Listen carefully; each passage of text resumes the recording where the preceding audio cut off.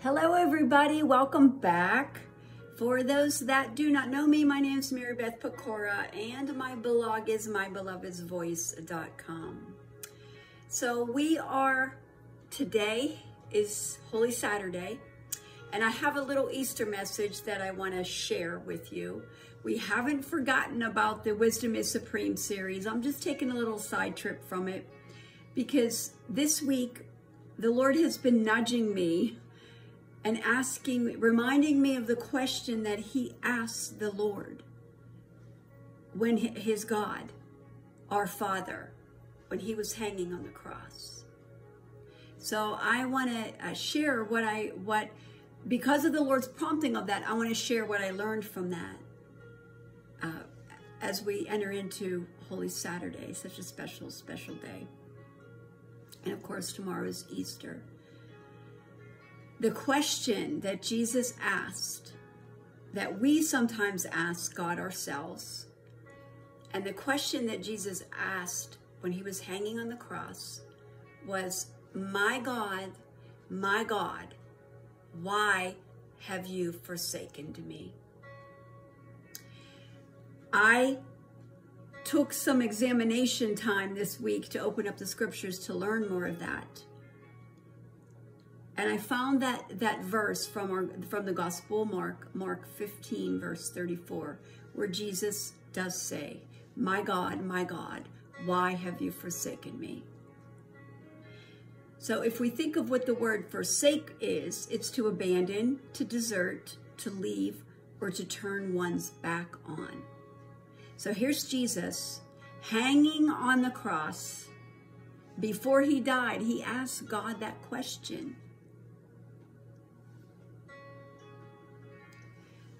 Why Jesus asked that question, I learned, was because of this. He was taking upon himself not just our sin, but the sin of the entire world. And Father God could not look upon him because of the sin that was all on Jesus. The sin of the entire world was on him. Some theologians even say that God could not look at Jesus. He actually turned his back on him and separated himself because he because of sin. And here's why. Because sin separates us from God. That's why Jesus came. Back in the book of Isaiah, the prophet said this in chapter 59, verse 2. It says, Your iniquities, which is crookedness, perverseness, or evil, have separated you from our God. Your sins have hidden his face from you so that he will not hear you. Jesus understands all separation, all abandonment, he knows what that all feels like when someone turns their back on you. So I want to encourage you that whatever you're going through, whomever has abandoned you or whomever has forsaken you or turned their back on you, Jesus himself understands.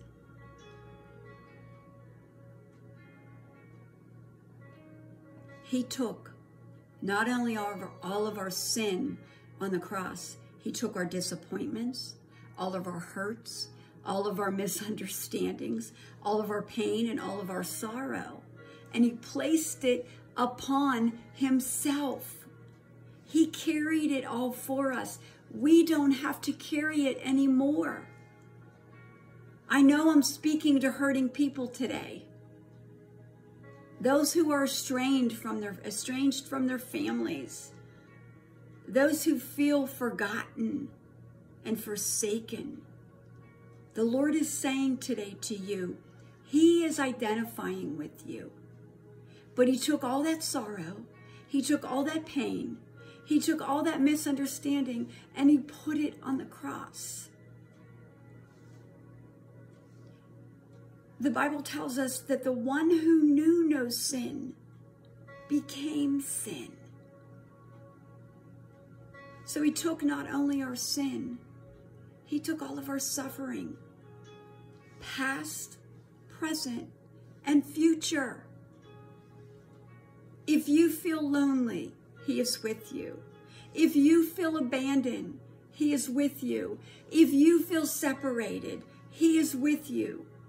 If you feel maligned, he is with you.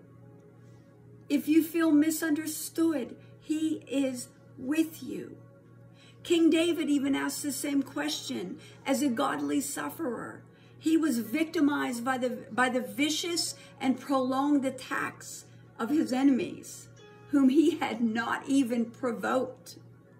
And when he cried out, he asked the same question that Jesus asked. And though when he cried out in the book of Psalms, it's from Psalm 22 1, you can go and look it up yourself, he had not been delivered yet. He asked the same question in the very first book of Psalm 22, very first, first verse of Psalm 22. He says, My God, my God, why have you forsaken me? In all of our hurt, God is with you. But Jesus promises never, ever, ever to leave us nor forsake us. That's in the book of Hebrews, chapter 13, verse 5. So as we close on this Easter message, I want to leave you with this exhortation. It came from Isaiah in the 59th verse, 59th chapter, excuse me, the very first verse. Here's what he said. Surely the arm of the Lord is not too short to save nor his ear too dull to hear. He's hearing your cries. He's hearing your desperate cries of reconciliation, to being brought back to whomever has left you. Everlasting salvation is ours. But look what he says also he said this, Isaiah said this long ago. Awake, awake, clothe yourself with strength, O arm of the Lord, as in the days gone by, as in generations of old. Was it not you who dried up the seas, the water of the great, great deep, who made a road in the depths of the sea so that the, the redeemed might cross over?